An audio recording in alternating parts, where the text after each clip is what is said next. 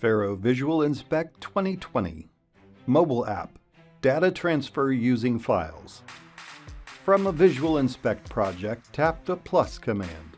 Tap Copy Product. Copy options include MWPAC with full media, used media, and without media. Enter a unique name.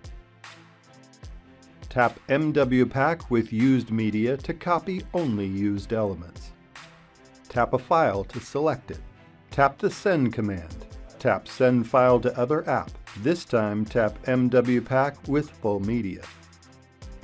Tap Save to Files. Tap MWPAC Data. Tap Save. Your file has been exported. Importing a file.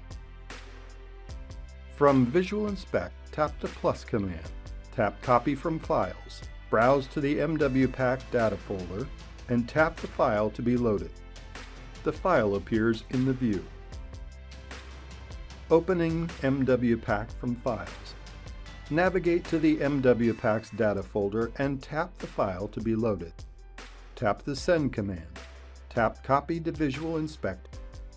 Visual Inspect opens with a copy of the imported file.